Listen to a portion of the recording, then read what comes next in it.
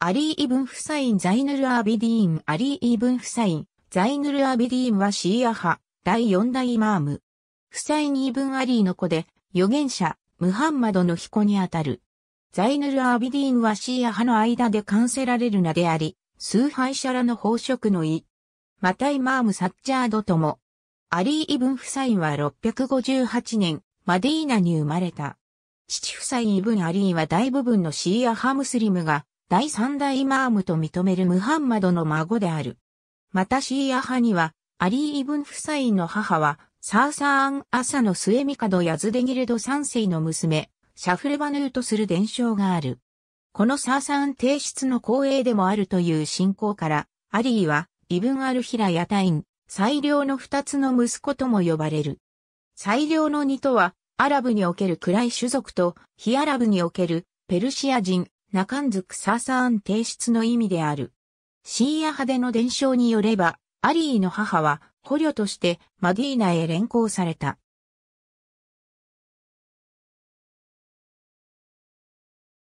時の第二代政党カリフーマルは彼女を売ることを考えたが、アリー・イブン・アビーターリブはこれに代わって彼女にムスリムのいずれかを夫として選択させ、婚資金は公金を持って賄うことを提案した。そこで、ウマルが同意し、彼女が選んだのが、アリーの息子夫妻であったとされるのである。彼女はその一人息子アリー・ザイヌル・アービディーンを産んだ。直後に亡くなったとされる。また祖父アリー・ブン・アビーターリブが亡くなった時、アリー・ザイヌル・アービディーンはおよそ2歳であった。アリー・ザイヌル・アービディーンは、後息子11人、娘4人、合わせて15人の子をなしている。アリー・ザイヌル・アービディーンは、その生涯を学びに捧げ、預言者のハディスとシャリーアの権威となった。シーア派において、クルアーン、ナフジュアルバラーガに次いで権威ある書物とされる、サヒーファーイコールサチャーリーアの菊として知られるの、情報源とされる。また、アリー・ザイヌル・アービディーンは、サイード・イブンジバイルのような多数の忠実な支持者を得ていた。シーア派ムスリムは、アリ・ザイヌル・アービディーンの高潔な品格、経験さを高く評価し称賛する。そうしたことから、その生前においてさえ、ザイヌル・アビディーンの号を得ていたと考えられる。有名なアーシューラーの日、すなわち、カルバラーの戦いにおいて、父夫妻をはじめ、アリ・ザイヌル・アビディーンの家族の多くが死に追いやられた。アリ・ザイヌル・アビディーンは、病弱のゆえに、病の床に伏して、戦闘に参加せず、結果的に生き残る。戦いの後アリーは、ウマイヤ朝の捕虜となって、ダマスクスへ連行され、時のカリフヤズイード一世の旅衆として過ごした。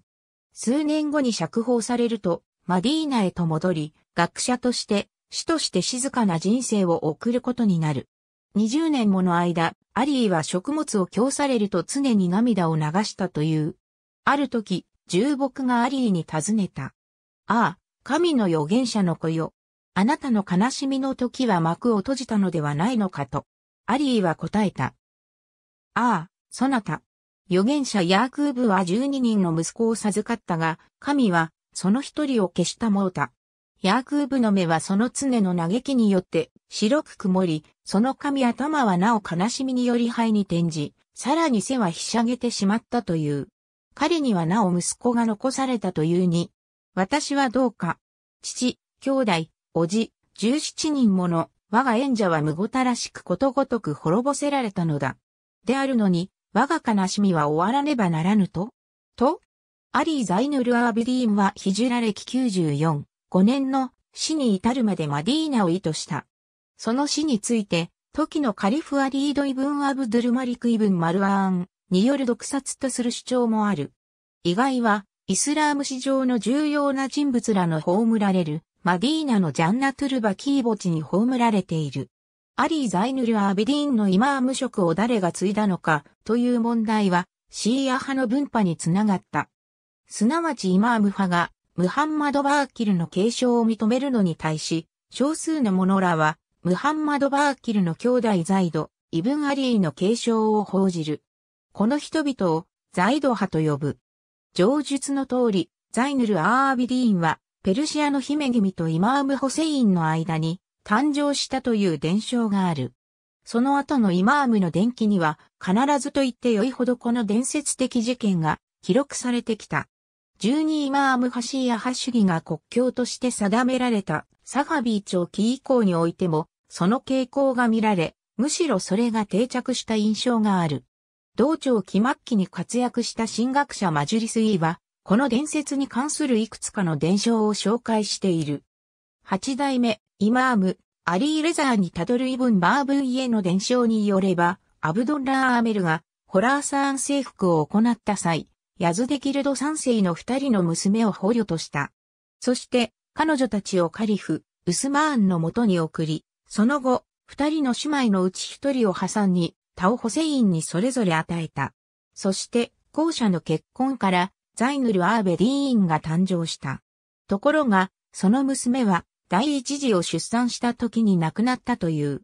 その結果、ホセインの奴隷の一人が彼の教育にあたり、ザイヌル・アーベディーンは彼女を自らの母と呼んだ。イランの最後の王ヤズデギルドの娘がカリフ、ウマルのもとへ連行され、メディナに入場した時、町の娘たちは彼女の美しさを見るために出てきた。また、メディナのモスクは彼女が放つ光気によって輝いた。ウマルは彼女の顔を見ようとしたが、これを拒まれた。その時、彼女は、ああ、ホルムズの日、暗くなりぬと述べた。ウマルは、このゾロアスター教徒は自分を罵ったとして、彼女を罰しようとした。これに対して、信者の長、すなわち初代イマームアリーは、ウマルはその言葉の意味を理解しておらず、これは、罵りなどではない、と告げた。ウマルは、それでは彼女を売却するように命じた。しかし、アリーは、いかに異教徒とは言っても、王家の娘を売却することは許されないとして、彼女にイスラーム教徒を一人選ばせ結婚すること、さらに、彼女の血の王金はそのものの在庫より支払うことにした。ウマルはこれに同意した。イラン王家の娘は、一座の者の中から、アリーの次男、ホセインを選んだ。そして、アリーがペルシア語で王家の娘に語りかけ、彼女の現在の名前であるジャハーンシャーに変えて、シャフルバーヌーと名付けた。そしてこれは、アリー自身の姉妹の名であると述べた。さらに、息子ホセインに対して、彼女を慈しむように諭した。二人にはやがて子供が誕生し、その人物は、地上で最良のものとなる。そして、両親の後、清しき人々の後継者となろう、と、ペルシア語で述べた。シャフルバヌーは、捕虜となる前、夢の中で預言者ムハンマドが、イマーム・ホセインと共に、彼女の住居に現れ、ホセインと結婚するように求められ、翌朝、彼女は夢の意味をめぐって考えあぐねていた。ところが、次の夜、今度は、ムハンマドの娘で、アリーの妻であるファーティマの夢を見た。シャフルバヌーは、夢の中で、ファーティマを介して、イスラーム教徒になった。ファーティマはイスラーム軍の攻撃があっても何人も彼女に危害を加えないこと、さらに自分の息子ホセインとの間に子を産むであろうことを告げた。このようにしてイスラーム軍が彼女をメディナに連行し、その後ホセインを見たとき、すでに預言者が夢の中で彼女のもとにやってきて契約を結んでいたので、躊躇なくホセインを選んだのである。こうして二人は結ばれ、その結果ザイヌル・アービディーンが誕生した。彼は、二つの良きものから生まれたと言われるように、神が、ハーシム家の中から選びたもうたものは、イランから選ばれたものであり、高貴な家系のものであった。ホセインの殉教を伝える、サハビー朝成立前後に書かれた、殉教者の園には次のような伝承が記述されている。ホセインは三人のアリーという息子があり、ザイヌル・アーベディーンは2番目である。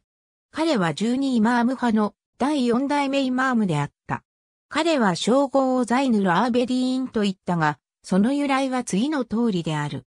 すなわち、ある日、いつものように彼が祈祷を行っていた時、悪魔がやってきて、彼を惑わさそうとした。イマームはこれに気求めない。そこで、悪魔は彼の足の指に噛みついて祈りを中止させようとしたが、それでも彼は祈りをやめなかった。神はイマームに、それが悪魔の仕業であることを知らせたモータ。そこで、イマームは悪魔に呪いをかけ、一撃を加えて、悪魔を退治した。その時、悪魔の姿は見えなかったが、彼は、何時は、ザイヌル・アーベディーンなりという叫び声が聞こえた。さらに、彼の父は、イマーム・ホセイン、母はシャフルバヌーであるため、預言者と国王の資質が彼に集約された。ありがとうございます。